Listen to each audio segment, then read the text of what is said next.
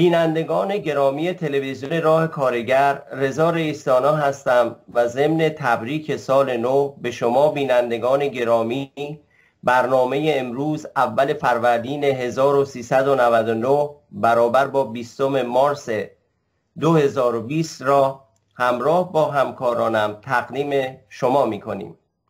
در ابتدای برنامه اعلامیه هیئت اجرایی سازمان به مناسبت جانباختن فریبرز رئیسانا به نظر خواهد رسید. سپس ارجنگ بامشاد به تحلیل رویدادهای سیاسی کشور در سالی که گذشت با نگاه به بحران ویروس کرونا خواهد پرداخت. در بخش پایانی برنامه امروز قسمت چهارم سلسله مصاحبه های رضا سپیدرودی با محمد رضا شارگونی درباره تجدید آرایش نیروهای چپ را برای شما بازپخش خواهیم کرد.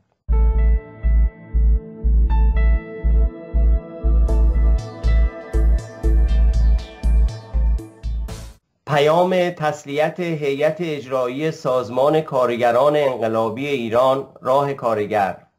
فریبرز رئیستانا از میان ما رفت.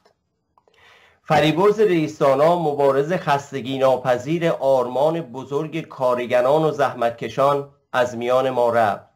رفیق فریبرز اقتصاددان و پژوهشگری پرکار و با دانش بود که در حوزه های مختلف اقتصادی و اجتماعی کارهای بسیار آموزنده و ارجمندی کرد و بیش از سی کتاب و صدها مقاله نوشت یا ترجمه کرد.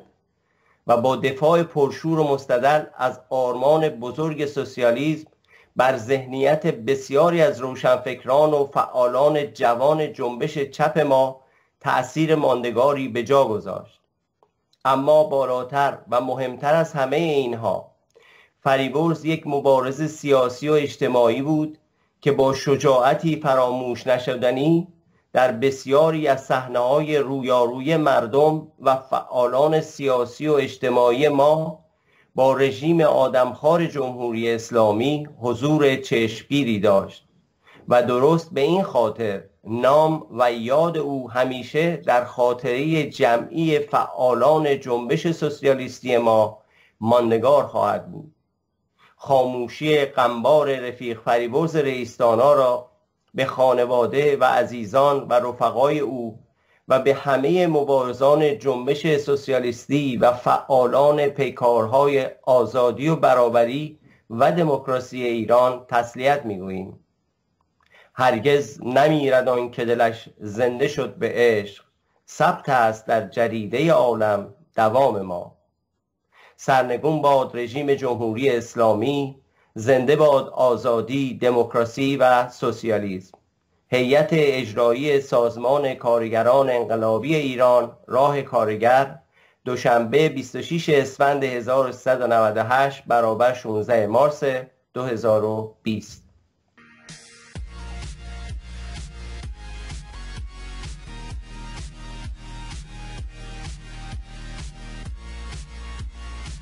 بینندگان عزیز تلویزیون راه کارگر و با سپاس از دستم در کاران تلویزیون. برنامه را با تبریک سال نو و آغاز نوروز پیروز آغاز می‌کنیم. این سال را و این عید را به همه ایرانیان و همه اونها که رو جشن می‌گیرن تبریک میگم از طرف خودم از طرف همکاران تلویزیون و از طرف سازمانمون. به خصوص که امسال این عید در یک شرایط بسیار سختی هست.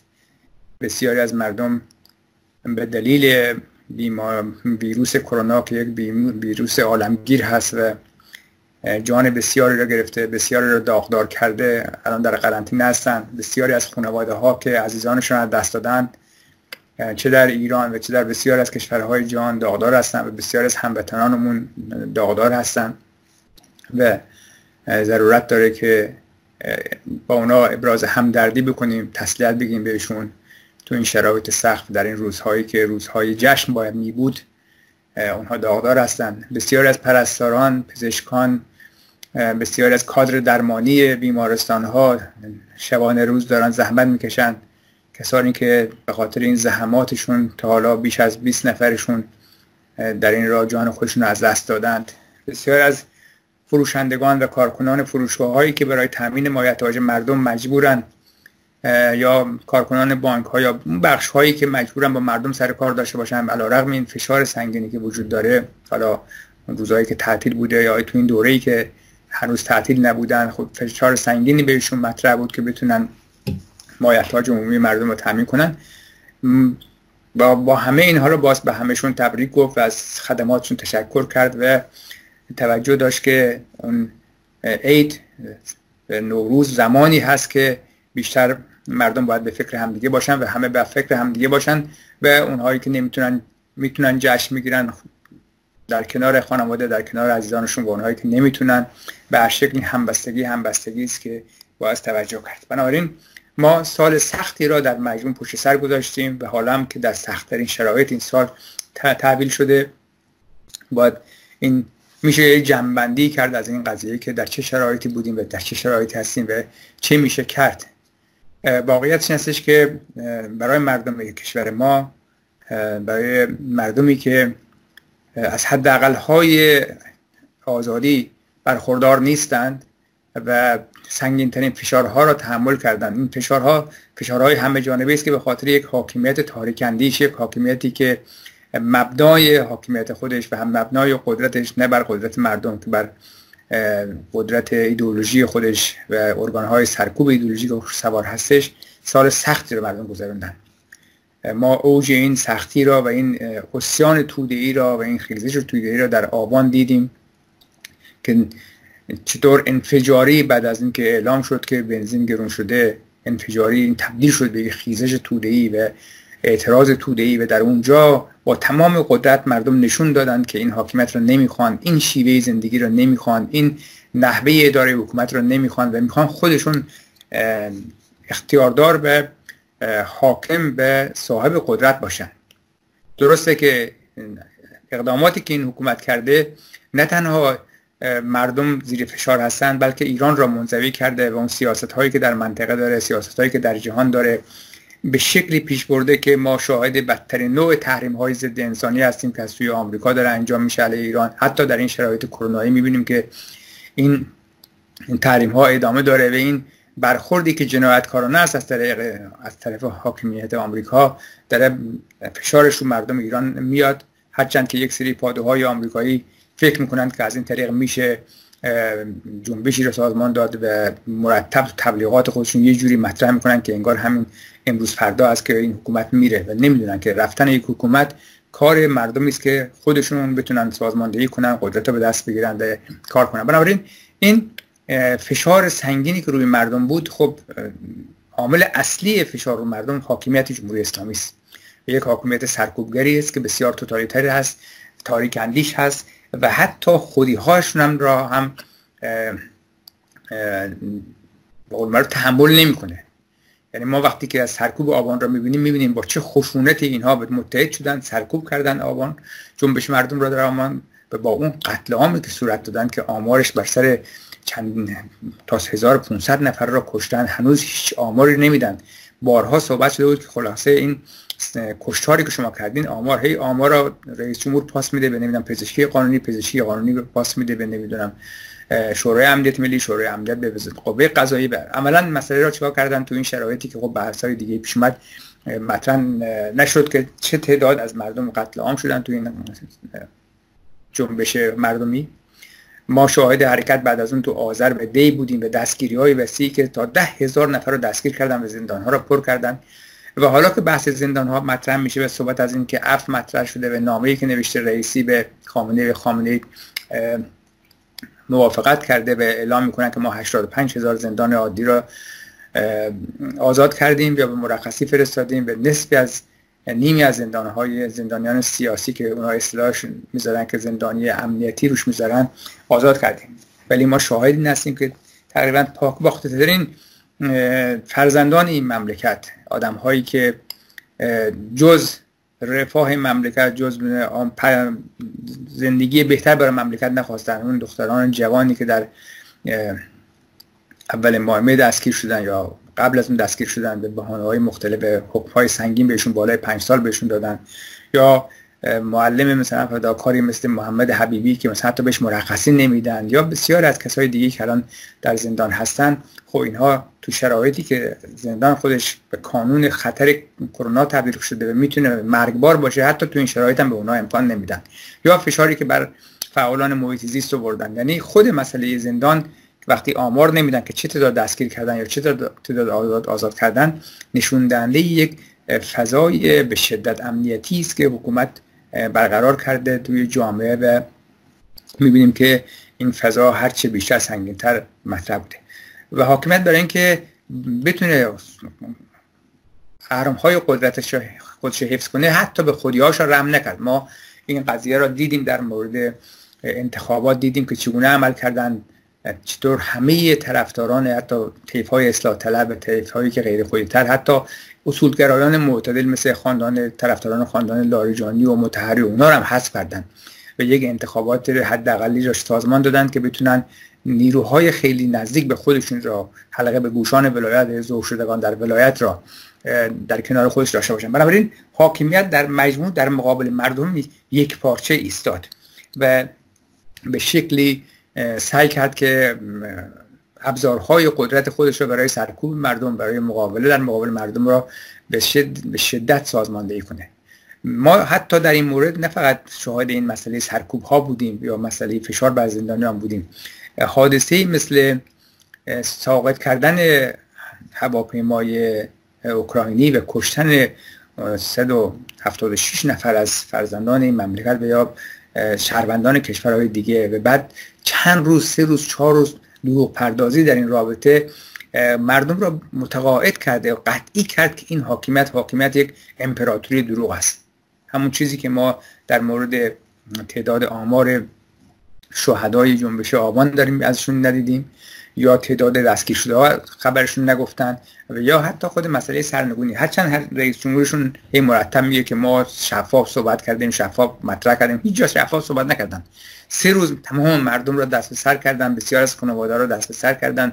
بسیار از خانواده هایی که وقتی که شنیدن که این شلیک از طرف توسط سپاه شده شوکه شدن. این مسئله ای بود که در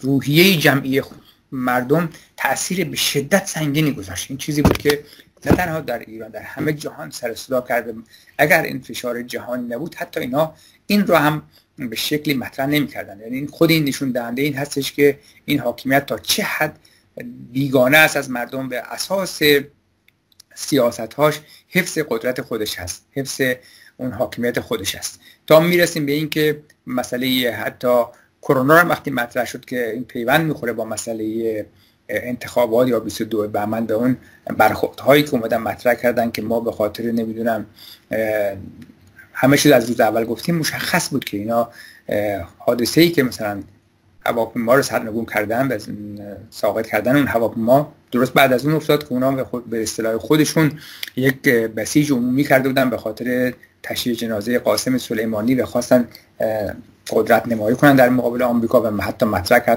روحانی چند روز پیش که آره ما ضربه ای زدیم به آمریکا که هیچ کسی ضربه رو نزده بود.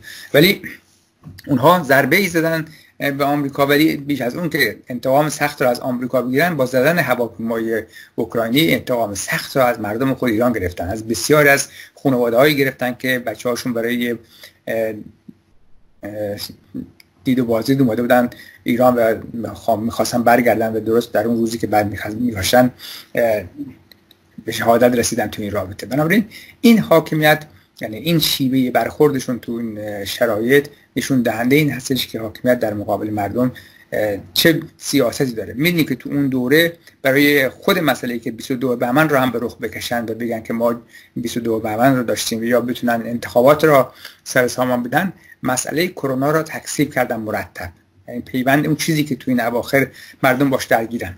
ایران جز کشورهایی بود که علیرغم همه هشدارها حتی هشدارهایی که وزارت بهداشت خودشون می‌داده پروازهای ماهان به چین را قطع نکرد. و این پروازها حتی امروز خبرش بود یا امروز نه دو روز پیش بکنم خبرش بود که یکی از این خلبان هایی که این هواپیما را پرواز می‌داد می‌رفت جز خلبان های ایران ماهان ایر بود.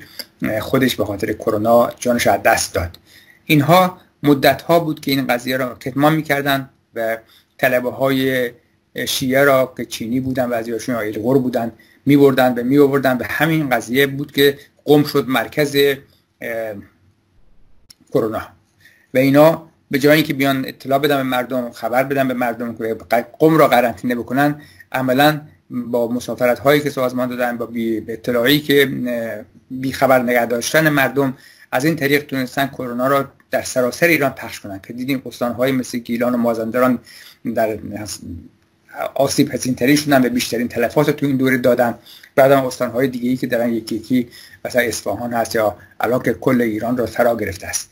و اینها وقتی که این مسئله را به شکلی کتمان کردن به این شکل نشون دهنده اون جوهر برخوردشون است یعنی به خاطر حفظ مسئله 22 بهمن به خاطر مسئله انتخابات کتمان کردن و سازماندهی نکردن. از اون ور ما در اینجا دو امسال میشه یک نکته را خیلی برجسته مطرح کرد و گفت. به اون اون هستش که ما اولین باری هست که به طور خیلی جدی مردم به طور کامل فهمیدن که بین اون اسلامی که مردم اعتقاد دارن اون دینی که دین خود مردم هست و دینی که حاکمیت داره چه تضاد بزرگی وجود داره؟ یک دین حکومتی عملا دین حکومتی تلاش می‌کرد که در مقابل علم در مقابل دانش در مقابل توصیه های پزشکی مقاومت کنه. مدت ها مقاومت کرد. ما این مقاومت رو در این بود که قم را قرنطینه نکردن که تمام خبراش مشخص بود که بیش از همه پافشاری که رئیس سازمان اطلاعات سپاه این قضیه رو مقاومت کرده بود و بعد خود این قضیه که بعضی از این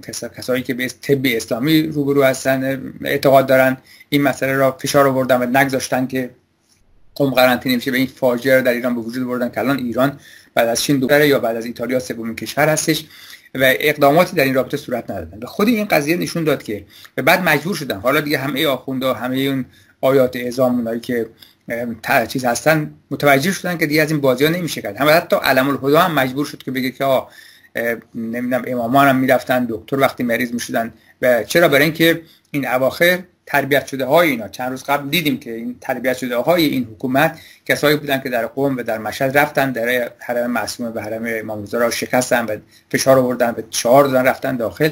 درست تو شرایطی که این وضعیت ویروس همهگیر شده و خطرناک است. بنابراین ما چین در چین وضعیتی وارد سال جدید میشیم. یعنی وضعیتی است که واقعیت نیستش که کرونا و این ویروس ویروسی نیست که باش بازی کنن.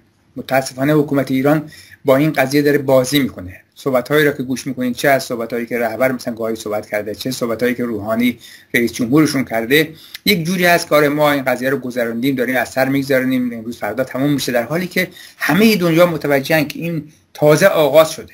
کشورهای اروپایی مثلا صدر اعظم آلمان یا رئیس جمهور فرانسه اینا مطرح کردن که ما توی 6 ماه تا یک سال آینده درگیر این قضیه هستیم. تمام تلاششون دارن می‌کنن که این سرعت این شیوع این بیماری کاهش پیدا کنه که سیستم های بهداشتیشون به هم نریزه. چون این بیماری هستش که نه براش درمان وجود داره نه براش واکسن وجود داره نه هیچ وجود نداره و داره با سرعت عجیب غریبی داره تو همه کشورها رشد می‌کنه.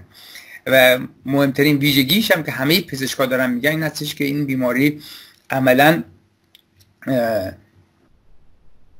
بسیاری ممکنه گرفته باشن ولی بدنشون چون ایمن هست قوی هست نشون نمیده. ولی اینا حامل این ویروس هستن و می‌تونن این ویروس را منتقل کنن. درست این موضوع برای مردم ایران تو شرایط کنونی حساسیت داره که ما تو شرایطی که تو دید بازدیدهای عید هستیم چگونه میشه این مسئله را کنترل کرد؟ خب اون نکته اصلی را که میشه روش تاکید کرد نستش که این حاکمیت واقعیت این که داره موضوع را خیلی ساده جلوه میده خیلی سطحی جلوه میده و خیلی سعی می‌کنه که بگه کنترل کردیم در حالی که موضوع بسیار جدیتر از این هستش. ما در مورد حاکمیت می‌بینیم که یک روز مثلا فرمانده رئیس ستاد کل ارتش میاد میگه که ارتش میاد شهرها رو خالی می‌کنه مردم رو قرنطینه می‌ذاره به خونه هاشون و اونایی که نیاز نیست تو بیرون باشن. برای اینکه ارتباط قطع بشه. چون اساس این هستش که هرچه ارتباط انسان ها با هم دیگه قطع بشه فاصلهشون از هم دورتر بشه تماس بدنی نداشته باشن امکان اینکه ویروس از یکی از یک فرد سالمی که ویروس در بدنش هست به یک فرد دیگه منتقل بشه و بخصوص برای اون کسایی که سیستم ایمنی بدنشون ضعیف هست بسیار خطرناک هست. برای کسایی که سالمندن بسیار خطرناک هست. برای جلوگیری از این ضرورت داره که این ارتباطات کم بشه. تو چنین شرایطی وقتی که حاکمیت میاد میگه که خطری وجود نداره یا یک سری کله پوک حزب اللهی میرن در این حرم های اون حرم میشکنن و میگن که اینا همش توطئه دشمن هست. عملا زمینه را برای گسترش این بیماری فراهم می‌کنن و ما می‌بینیم که چه کشتهای بیماری کرده. در بیمارستان های مازندران در بیمارستان های گیلان حتی در مثلا بروجرد خرم در اصفهان در خود تهران و بسیار از این آرامستان ها پر شده که نمی‌تونن دفع کنن این قضیه را. خدا تو شرایط خیلی سختی داریم کار می‌کنیم. الان در روز آلرژی تنفسی که دارم عود کرده. با همین وضعیت دارم میان سر کار. خواهش می‌کنیم که بیرون نه خونه باشین ای دیدنی نرین. همکارمون واقعا خسته شدن. مرا با خود ببر آروم به بغز آخرین سنگر به خواب کوچه عاشق. به عطر لاله قرپم تو حس خوب بارانی تو فریاد ولیرانی حریم امن دورانی تو ایرانی تو ایرانی.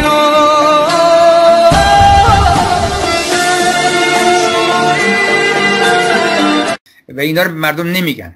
و این خودش خیلی خطری هست. یعنی اون نکته ای که ما بایستی تو این شرایط عید که بسیاری خود قصد دارن که دیده بازی کنن باعث این موضوع رو مطرح کنم که چه بکنیم تو شرایط کنونی که این همبستگی مردم مانع از اون بشه که این سهلنگاری و حکومت کار دست مردم بده. ما با یه قتل عام روبرو ای روبرو نشیم.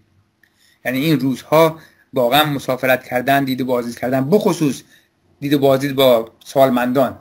با پدر بزرگها با مادر بزرگها می‌تونه یک خطر بسیار جدی باشه. بنابراین ما در شرایطی قرار داریم که این شرایط را بایستی تبدیل کنیم به یک شرایط همبستگی مردمی.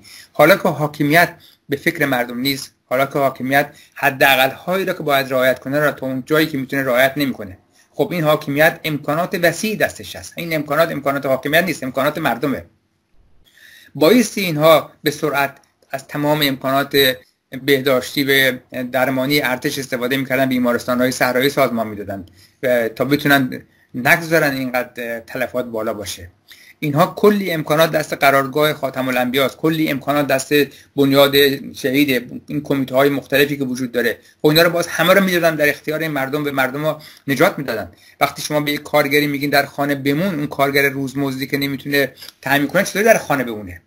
بایستی این قضیه را دولت همه امکانات امکانات نهادها و این ثروتی که توی این نهادها خوابیده شده مال مردم هست و بی خود اونا دارن چپاول می‌کنن همه اینا رو باز میداشت می آورد در خدمت مردم یک بسیج همگانی می‌کرد. حالا که مرد این کارا رو نمی‌کنن مردم بایستی برای خودشون به از طریق امکاناتی خود مردم دارن. این همبستگی رو باز سازمان داد. یعنی مردم باز از پایین بیان الگوی حکومتی خودشون الگوی کار خودشون به اون شکلی که می‌تونن. همین که ما داریم می‌بینیم نمونه بسیار از جاها جوانات تو محلات کمیته های محلی درست کردن میرن ضد عفونی می‌کنن جاهای اماکن عمومی را تو این رابطه یا جاهای جلوی ورود دیگران را از مسافران از شهرهای دیگه می‌گیرن که برای اینکه می‌تونن ناقل بیماری باشن. یا شناسایی اون خانواده هایی که مثلا بیمار دارن و نمی‌تونن بیان بیرون کمک کردن به این کسا به اینا تامین مایحتاج زندگیشون و کمک کردن به اون افرادی که نیازمند هستن. به کودکان کاری که تو شرایط کنونی بدترین وضعیت را دارن چه خودشون چه خانواده هایی که منتظر کار این دسترنج این بچه ها هستن. خب اینا رو بایستی سازماندهی کرد به شکل های مختلف با سازماندهی کرد. ما نمونه های از این همبستگی رو می‌بینیم. نمونه های از این همبستگی که یک مرتبه مثلا باغداران کازرون جمع میشن و کلی میوه میارن توی بیمارستان میدن برای تشکر بس پرستارا و کادر پزشکی و بهیارا و اون کسایی که دارن شبانه روز زحمت می‌کشن. یا توی لنگرود دیدیم این همبستگی را که وقتی که بیمارستان اعلام کرد که ما ماسک نداریم به مواد شوینده نداریم و مواد ضد عفونی نداریم مردم خودشون بسیج شدن به جمع کردن آوردن. یا نمونه اونا هم اون تلاش هایی را که مردم شیراز کردن جوان های شیراز کردن که به کارخونه هایی که ماسک تولید می‌کردن کمک کردن و رفتن به از این طریق سعی کردن تا اونجایی که امکان داره این تجهیزات را گسترش بدن ماسک را گسترش بدن تعدادش را زیادتر کنن و بدن به این قضیه کمک کنن تو این رابطه. یا اون کاری که مثلا بچه های زاهدانی کردن تو رابطه با ضد کردن اماکن نمونه های این بسیار زیاده. این نمونه ها نمونه است که میشه از طریق این هرچه وزیتر اینا گسترش داد. اینا تبدیل کرد به کمیته های مردمی به کمیته های خودیاری محلی به شبکه های همبسته ای که از طریق تلگرام از طریق ارتباطات این شکلی مثلا شبکه های اجتماعی این همبستگی ها رو ایجاد کرد کمک ها را سازماندهی کرد و الگوی ایجاد کرد که بتونیم از این دوران سخت گذر کنیم. خب بسیار از خانواده ها هستن که ممکنه طرف امکان کاریش از دست بره برای اینکه کارگرای روزمز هستن. کارهای کارگرای آجر کوره پس خانه ها هستن که مثلا نمی‌تونن نه بیمه دارن نه تامین دارن نه مزد ثابت دارن. خب اینا کسایی که روزمزد کارن. خب اینا زیر فشار سنگین خواهند بنابراین امکاناتی که وجود داره رو میشه سازماندهی کردنی از این طریق بایستی راهی پیدا کرد تو شرایطی که این حاکمیت بیشتر به نظر می‌رسه که یک نوع دکور هست. این حاکمیت وقتی می‌خوایم صحبت کنیم هستش که این فقط در سرکوب بسیار متمرکز است. تمام امکانات سرکوبش سازماندهی شده است. مدرن هست. حتی می‌بینید تو شرایط چنین سختی دارن احضار می‌کنن. سه تا نویسنده مملکت را به خاطر اینکه شما چرا کتابی نوشین درباره 50 سال کانون دارن احضار می‌کنن ببرن زندان. بسیار از این دخترهایی را که مثلا عشقشون خدمت به مردم بوده را احضار می‌کنن برن زندان. یعنی این حاکمیت تا این حد وحشی است تو شرایط کنونی که بایستی همه اینا رو آزاد کنن همه زندانیان سیاسی عقیدتی رو آزاد کنن و نگذارن که این تو این شرایط سخت باشه می‌بینی که اینا اون ارگان های سرکوبشون مرتب داره کار می‌کنه از این طریق سعی می‌کنن این کار رو انجام بدن. ولی وقتی که پای تامین نیازهای مردم هست تامین ما مردم هست لنگ می‌زنن. میگن ما شهردار تهران یا رئیس جمهور این مملکت مطرح می‌کنه که ما قرنطینه نمی‌کنیم چون اگه قرنطینه کنیم نمی‌تونیم تامین کنیم مردم را. خب پس شما این پول هایی که تو این نهادها خوابیده رو چیکار دارید می‌کنید؟ این پول هایی که توی نمی‌دونم بنیادهای خوابیده یا قرارگاه خاتم خوابیده یا این امکانات عظیمی که دست این بخش های مختلف هست چیکار دارید می‌کنید؟ خب اینا رو باز بریزید بگیرید بدید دست مردم تو شرایط کنید یعنی اینها کاری است که باعث این حاکمیت بکنه. ما مثلا حتی در کشورهای مثل اروپایی دیدیم فرانسه آلمان خب شرایط بسیار سختی رو دارن به اینا حتی با اینکه اعلام کردن که ما متوجه این قضیه بودیم ولی بازم تاخیر کردیم.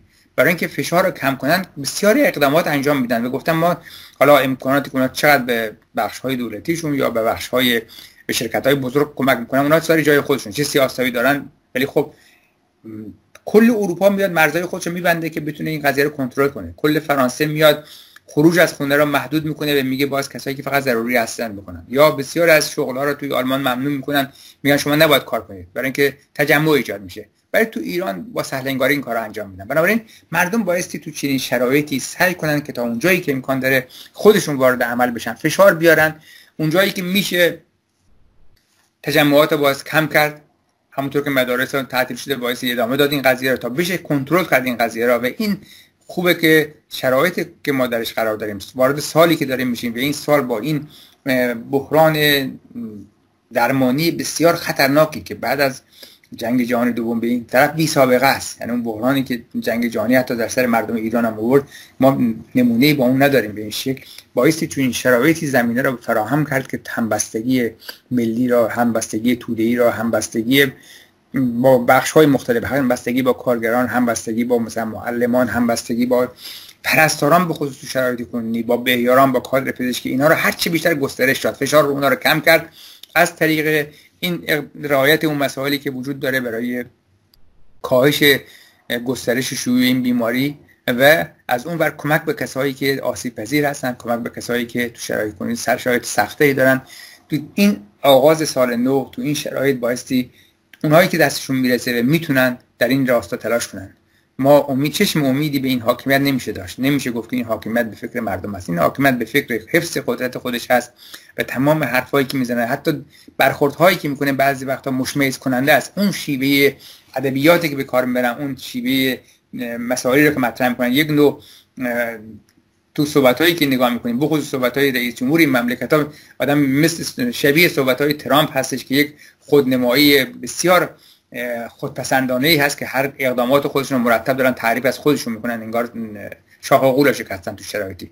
به این لحاظ ما در چنین شرایط سختی قرار داریم. به خوبه که تو این شرایط سخت مردم به شکل همبسته در کنار هم باشن و زمینه های شکلی به اون ارگان هایی که می‌تونه ارگان های حکومتی خود مردم باشه. در محلات در کارخونه ها در اداره در جاهای مختلف به شکل های مختلف این همبستگی رو باید ایجاد کرد. امروز همه می‌دونن که ما تو شرایطی هستیم که اگر بهداشت رایگان داشتیم اگر امکانات رفاهی ما طوری سازماندهی می‌شد که بهداشت عمومی همه همگانی وجود داشت آموزش همگانی شکل می‌گرفت و این امکانات تقسیم می‌شد و اینقدر به سمت خصوصی سازی وحشتناک و لجان گسیخته نمی‌رفت. اینقدر چپاولگرانه با این مملکت برخورد نمی‌کردن. ما در چنین وضعیت خطرناکی نبودیم که امروز این همه جانها از دست برن.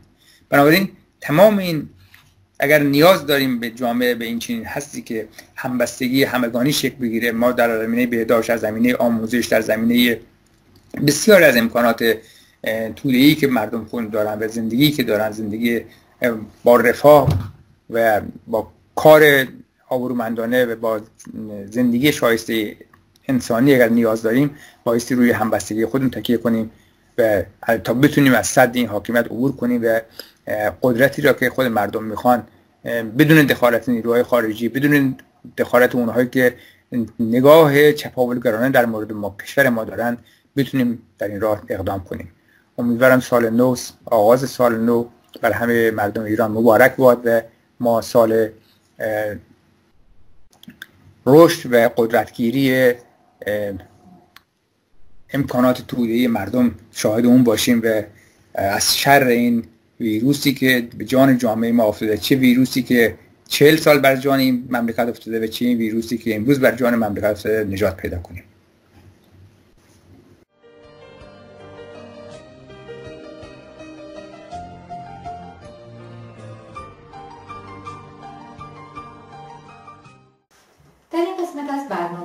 به چهارمین بخش از گفتگوی رضا سپیدرودی با محمد رضا شارگونی درباره تجدیدالش چپ.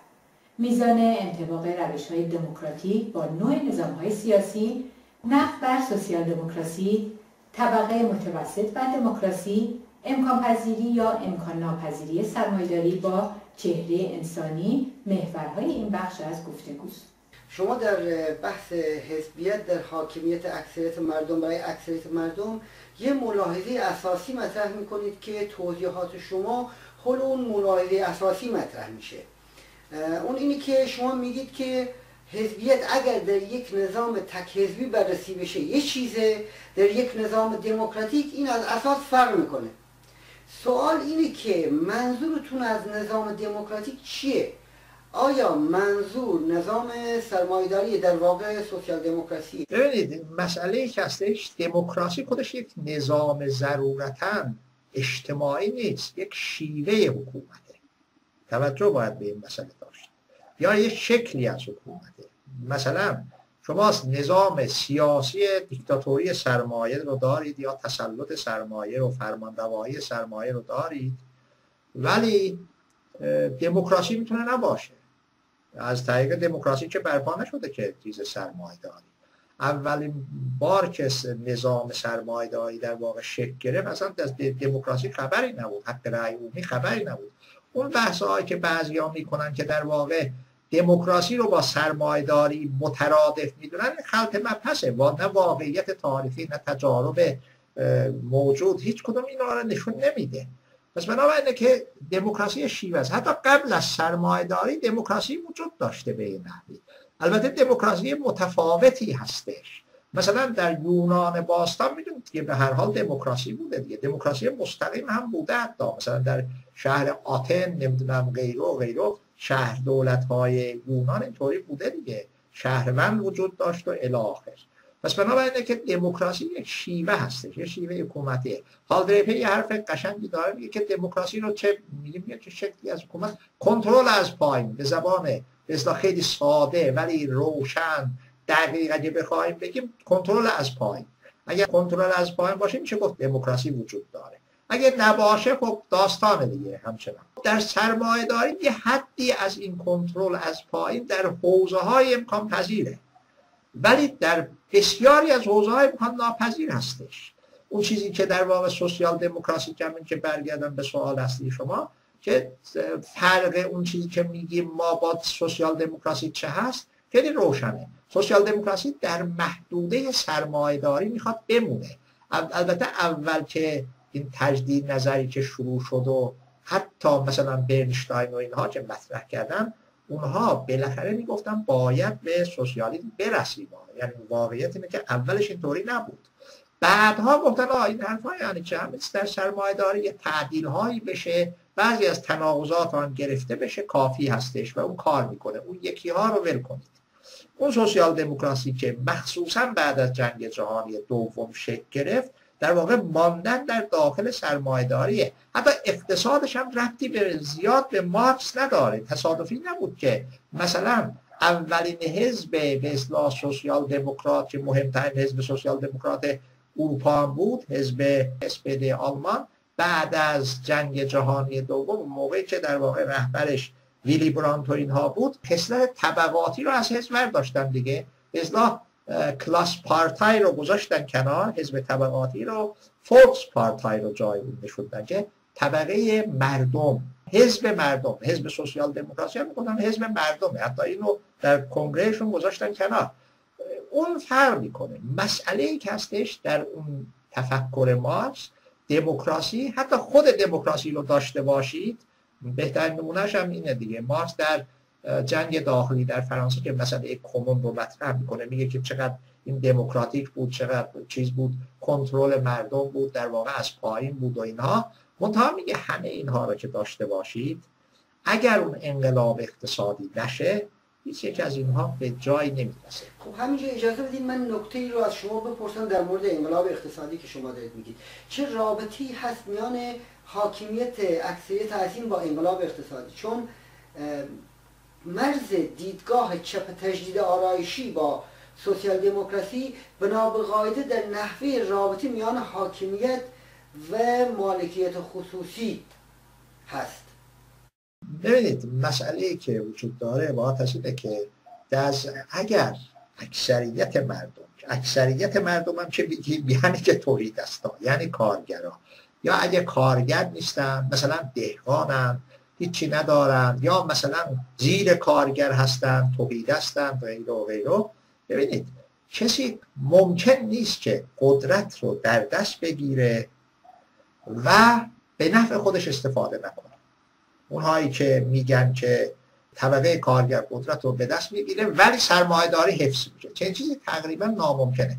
مردم اهرم های سیاسی رو به عنوان وسیله برای بهبود شرایط زندگیشون برای به حد رساندن اون نیاز امکاناتی که نیازهاشون رو برطرف بکنن به خوشی و خوشبختی و رفاه و اینها دست پیدا بکنن مورد استفاده قرار میدن.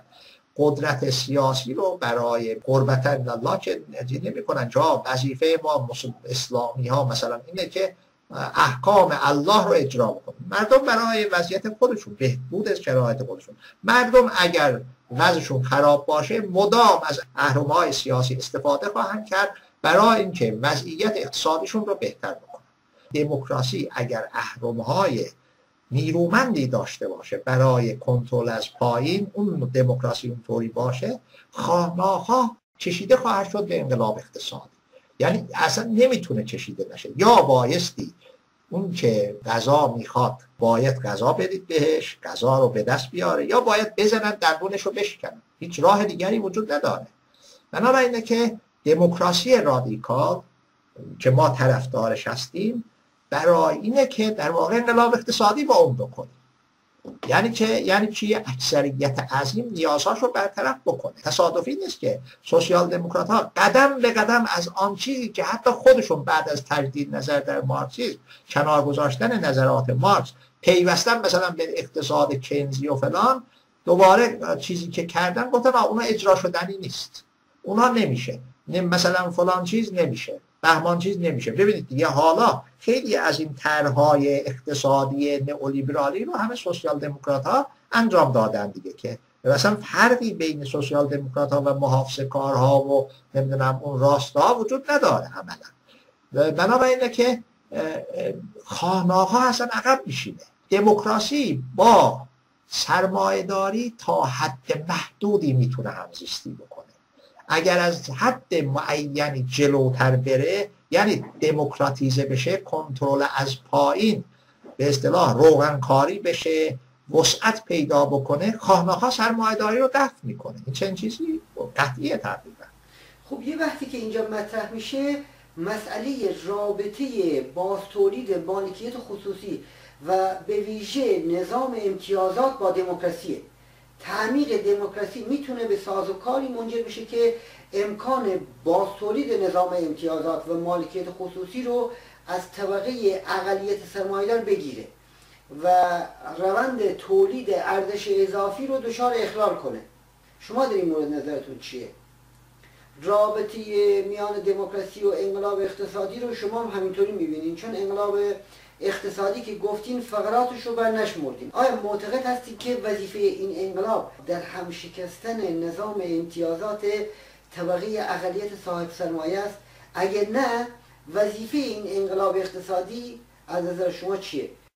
ببینید اون ساختاری که همه ساختارهایی که به یه عده امکان میده که از ثمره کار و زحمت و تلاش دیگران استفاده بکنن چاقتر بشن به اصلاح بر گرده اونها بشینن خب مسلمه که وقتی که کنترل اجتماعی بر اهرمهای کلیدی اقتصادی صورت بگیره خب این این امتیازات رو می‌گیره. و این قدم به قدم جلو میره. قدم به قدم هم به این خاطر میگم که اون اگر فصل دوم مانیفست رو دیده باشید اون بخش های آخرش میگه که مثلا اولین قام هایی که مثلا اون موقع وقتی که در نیمه قرن 19 هم اینو می نوشتند ما باید بکنیم در کشورهای پیشرفته سرمایه‌داری اینها هستند. حالا اونها رو اگه نگاه کنید خیلی هاشون در حال حاضر در واقع اجرا شدن ولی کافی نیستن. اونها در اون شرایط لازم بودن. منتها مثلا اونجا هست که الغاء مثلا حق ارث. این اینو بذارید کنار. اون یکی ها طبیعتا اون ده تا ماده ای رو که گفت گذاشتن تقریبا نه تاش عملا اجرا شده. منتها مسئله ای که هستش در اون دوره باید ببینید چه بوده. یک چیز اصطلاح نسخه ثابتی وجود نداره که باید اینطوری بشه. بایستی ببینید که در چه جامعه ای هستید وضعیت چه هستش. مثلا بذارید یه نکته ای رو بگم. حالا همه جا حق عمومی تقریبا وجود داره. حق رأی دادن در واقع. همه مردم حق دارن رأی داشته باشن. ولی یادتون باشه که اولین قانون نوشته به اصطلاح مکتوب جهان یعنی قانون اساسی آمریکا که هم به اصطلاح می‌گفت که ما مردم ایالات متحده آمریکا فلان هستیم. هنوزم مراجعه بکنید به متن قانون اساسی آمریکا نه اون متمم هاشو می‌بینید که اون سیاه ها رو سه چهارم آدم حساب می‌کنه. نه که سه چهارم رأی آدم رو بدن و ارباباشون سه چهارم رأی بدن. یعنی از اینجا شروع شده دموک... دموکراسی دموکراسی که میگید اینطوری بوده واقعا. حتی در زتا زمان لیندن جانسون عملا سیاه ها نمی‌تونستن حق رأی داشته باشن. نه یعنی عملا حق رأیشون گرفته می‌شد. همین فیلمی که درست کردن درباره مارتین لوتر کینگ که یکی از شاهکارهای اسکار هم عبارت از اینه که اصلا او رو حتی نامزد اسکار هم نکردن. جالبه دیگه سلما. اونجا ماجرا عبارت از اینه که از یه خانم سیاهی طرف می‌پرسه در دادگاه به که حق رأی می‌خواد رأی بده. میگه که مثلا چند تا ما فلان داریم در ایالت مثلا چیز؟ آلاباما. مثلا در آلاباما چند تا فلان میگه اینقدر. میگه اسماشون رو بگو. یعنی باید گویا اسم تمام اون مسئولان و فلان رو بدونه که تا اینکه مثلا حق رأی بدن بهش. بابا مگه اون یکی ها میدن؟ حتی آقای رئیس جمهور مگه خودش می‌دونه که اسمها رو؟ یعنی جلوشو گرفتن. یادمون باشه که در خود آمریکا بین اعلان جمهوری آمریکا و تأسیس قدرت در آمریکا تا زمانی که همه در روی کاغذ رسما به اصلاح تونستن رأی بدن حق رأی داشته باشن 120 سال طول کشید. توجه داشته باشید. این مسلمه که در حال حاضر اینطوری نیست. منتها یه طور دیگری هستش. اینا رو می‌خوام این اشاره بکنم که بگم که دموکراسی یک چیز ثابتی نداره. انقلاب اقتصادی هم یه چیزی نیست که اول اول فلان کار رو بکنید باید پس فلان فلان طور بشه. جامعه های مختلف فرق می‌کنه. خب ممنون از شما رفیق شالگونی به خاطر توضیحاتتون اینجا اجازه بدین یک انتقادی رو که نیروهای راست مطرح می‌کنم با شما در میان بذارم. و پاسخ شما رو بخوام. یه انتقادی مطرح می‌کنن که میگن که فقط به راه کارگر البته نمیگن به همه گروه چپ میگن. میگن که گروه های مثل راه یا نظارینا هر قدم که بر مدل های خودشون تاکید بکنن باز نمی‌تونن این کار بکنن که همه مدل های شکست خورده قرن گذشته بالاخره تفسیرهایی بودن از نظریه مارس حالا شما میگین که این تفسیرها انرافی بودن. از کجا معلوم که همین تفسیر جدید شما انرافی نباشه؟ این گروه ها با توجه به شکست جهانی چپ و کارنامه شکستش میگن بهتر نیست که راه کارگر یا اصلا راه کارگر نه چپای دیگه به جای سرمایه گذاری روی کارگران و زحمتکشان دنبال رسیدن به دموکراسی از طریق سرمایه گذاری سیاسی روی طبقه متوسط به عنوان عامل دموکراسی باشن یا به جای تمرکز روی طراحی تجدید آرایش چپ یا طراحی یه مدل دموکراتیکی از سوسیالیسم برای نظام سرمایداری با چهره انسانی تلاش بکنن مبارزه بکنن. ببینید مسئله که اولین نکته عبارت از اینه که اولا که دست راه کارگر و راه برزگر و راه نمی‌دونم لبنیات فروشان نیست که. مردمه اکثریت بدبخت نمی‌تونه زندگی بکنه. مسئله ای که اونهایی که فکر می‌کنن دنبال یک عده آدم دانشمند دنبال به اصطلاح گشتن و یه چیزی رو ابداع کردن نیستن که. بحث بر حتی ممکنم باشن. چی به اونا گوش میده اصلا. یه نفر یه حرفی قشنگ درباره مارکس زده. آیا این که از بین همه این تئوریسین های سوسیالیسم این همه مارکس طرفدار پیدا کرد و اینها مثلا مانیفست مارکس در واقع به اندازه قرآن و به اندازه کتاب مقدس در واقع چاپ شد در دنیا فلان. آیا این به معنای اینه که این چیز بوده؟ شاگردای خیلی وفاداری داشته فلان. من یادم یکی از مارکسیست سوسیالیست های فرانسوی اینو مطرح کرده بود. بعد گفته بود نه بابا اینطوری نیست. حتی شاگرداش بعضی هاشون ناخلف بودن اصلا شاگردای مارکس. در مارکس خودش هم دنبال ایجاد یک فرقه و اینها نبود اصلا. باید ببینیم چرا این اتفاق افتاد. خود مارکس جواب این رو هم خیلی روشن میده. واقعیت ماجرا اینه که نه که مارکس رو ابداع کرد مارکس یک نیرویی رو که برخواسته بود و قبل از مارکس هم برخواسته بود.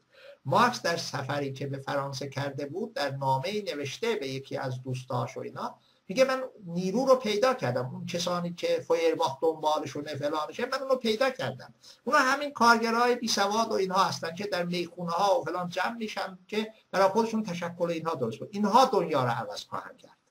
توجه داشته باشید. حتی مارکس در اوایل از به اصطلاح وحدت پرولتاریا آمیزش پرولتاریا با فلسفه صحبت می‌کنه. بعدا اصلا فلسفه یادش میره. اصلا اون داستان ها میره دنبال کارش.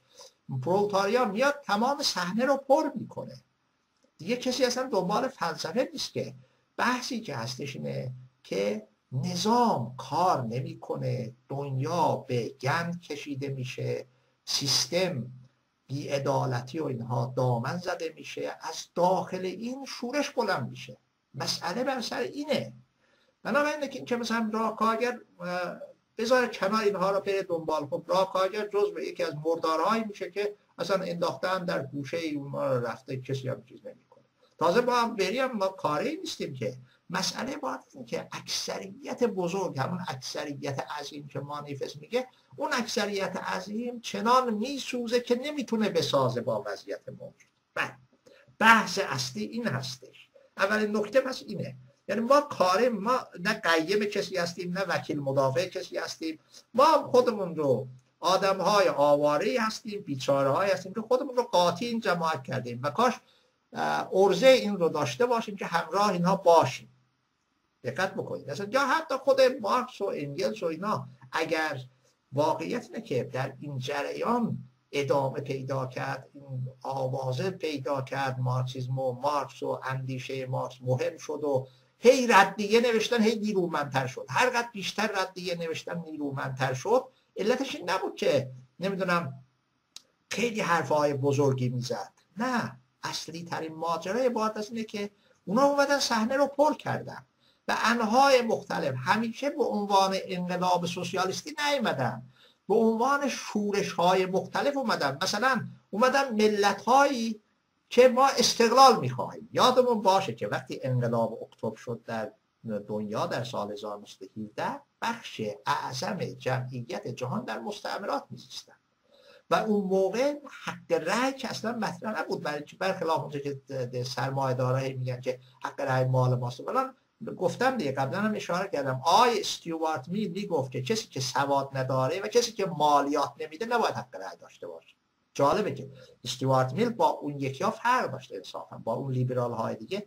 حالا اینا لیبرال ها هستن. وای برید اگه سراغ اون محافظه کارها و اینا. گفت اصلا اینا آدم نیستن.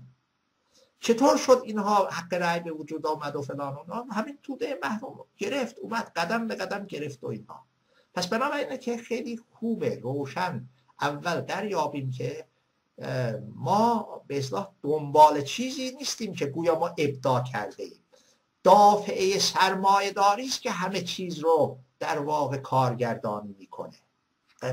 مهم این هستش. اکثریت مردم میسوزند آنچنان هم میسوزن که نمی‌تونن بسازن دیگه. یادمون باشه که همین الان که من و شما صحبت می‌کنیم حتی مالتی میلیونرهای آمریکا یه دی از اون کنده ترین هاشون مثلا وارن بافت یا آدم اصلا مگه چپ می‌تونه باشه آخه؟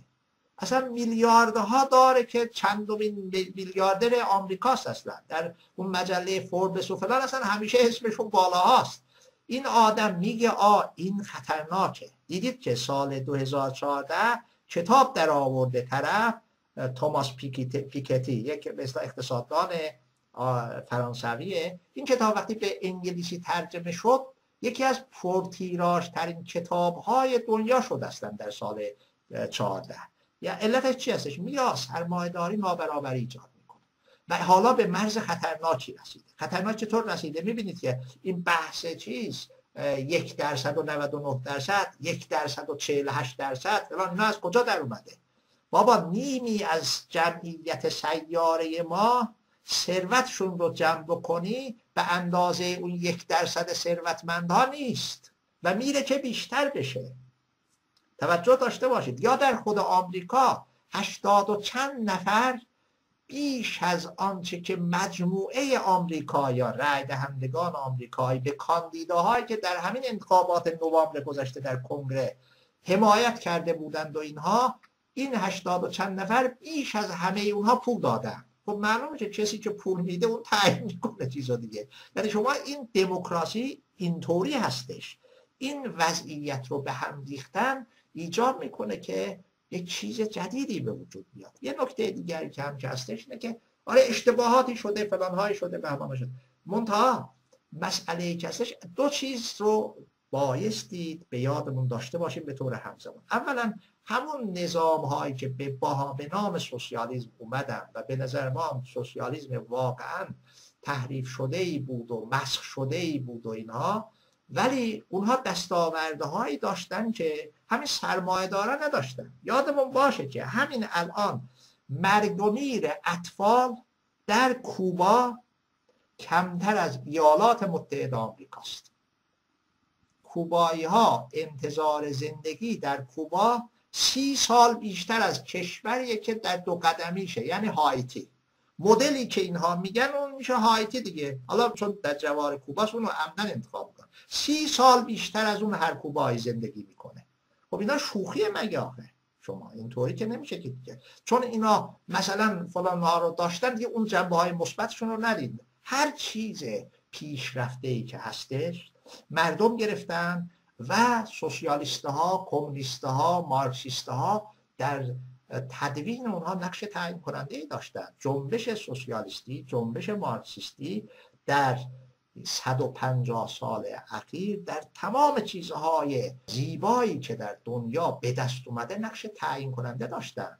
یه بار سردبیر لومون سردبیر سابق لومون اون موقع که اتحاد شوروی سقوط می‌کرد یه عده گفتن که سوسیالیسم مرد کمونیسم مرد و اینها اون یه حرف قشنگی زده گفت که یادتون باشه که اینو نگید مرد. نجیبانه ترین شعار تاریخ رو اینها دادن. زنان و مردانی که برای این جنگیدن و نه هزار تا میلیون ها شهید دادن. اینها چه می‌گفتن؟ از هر کس به اندازه توانش و به هر کس به اندازه نیازش. گفت من فکر نمی کنم از این نجیبان فعالی در دنیا ما در تاریخ داشته باشیم. اینو یه مارکسیز نمی‌گفت. توجه داشته باشید. پس بنابراین اون جنبه های مثبت رو فراموش نکنیم اما جنبه های منفی رو. حالا اگر دموکراسی باشه اگر افسار همه چیز در دست مردم باشه هر وقت نخواستن اصلاح کنن هر چیزی رو که نخواستن کنار بزنن خب هر جا اشتباه کردن تغییر میدن بهترش می‌کنن دیگه.